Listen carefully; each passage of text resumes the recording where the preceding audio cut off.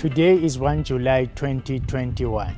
I'm recording this monthly video from the Gordon Institute of Business Science, GIBS as it is popularly known, our business school in Johannesburg in Sandton. Yesterday we heard the devastating news that the third wave of the coronavirus is upon us. This is serious. We must all stay safe. As previously announced, we will not have contact classes. All, if not most of our exams will be online, limited access to campus. July is a packed month as well. First, I would like to congratulate GIBS for being given the CIP report for the best report.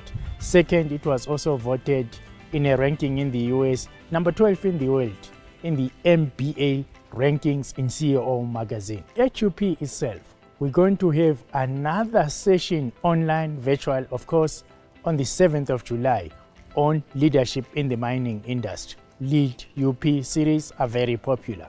Then on 15th July, we were going to celebrate World Youth Skills Day. Youth skills are important given the rampant unemployment among our youth. HUP, we try and give skills that ensure youth can get jobs and can create their own jobs as entrepreneurs.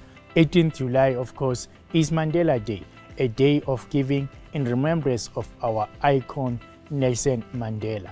Colleagues, students, alumni, and the UP community at large, we have entered the third wave, as I said at the beginning of this message. We must now strictly adhere to all of the things we should be adhering to.